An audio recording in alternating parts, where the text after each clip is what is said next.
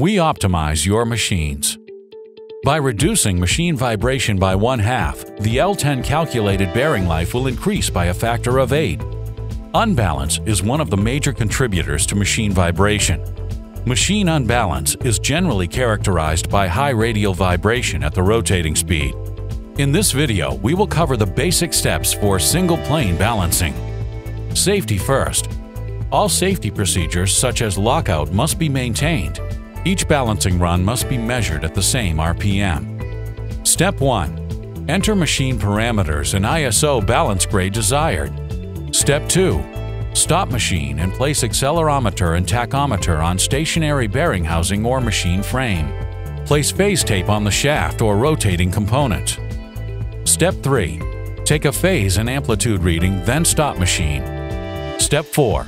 Place a trial weight per balance machine's recommendation. Step 5. Measure the vibration amplitude and phase. Look for a 30% change in amplitude and or 30 degree change in angle, then stop machine. Step 6. Remove or keep trial weight per balance machine instruction. Step 7. Place correction weight per balance machine instruction. Step 8. Take a phase and amplitude reading, then stop machine. Step 9. If the resulting amplitude reading is within ISO specification, you are finished.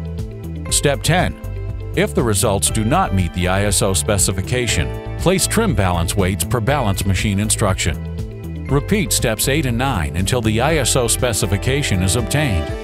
For more information about balancing machines, contact the professionals at PRUFTECHNIK. We optimize your machines.